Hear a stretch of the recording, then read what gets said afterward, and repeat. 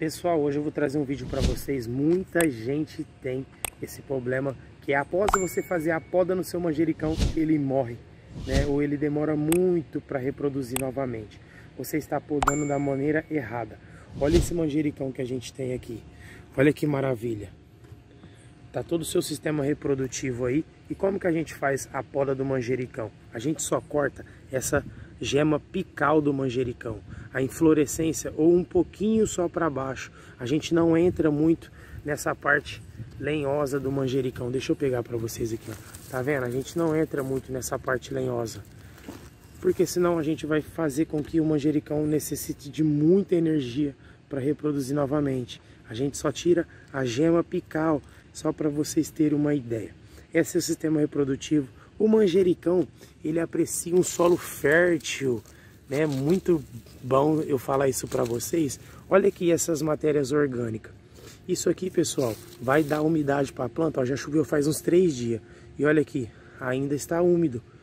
Entendeu? Então isso aqui aguentaria mais um dia, né? Ou dois aí, sem fazer a rega. Mas hoje, como a gente é, a gente tem uma precaução, a gente vai fazer uma rega hoje aí antes das 5 horas da tarde. Como que eu faço essa poda?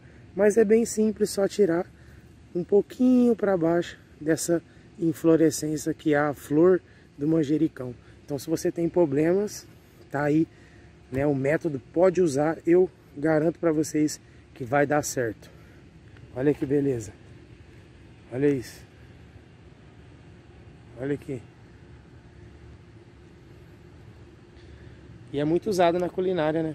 Todo mundo sabe. Muito usado na culinária aí.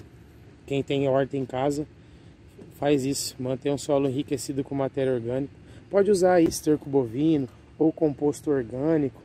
Faz uma, uma, uma adubação nele aí com adubo mineral.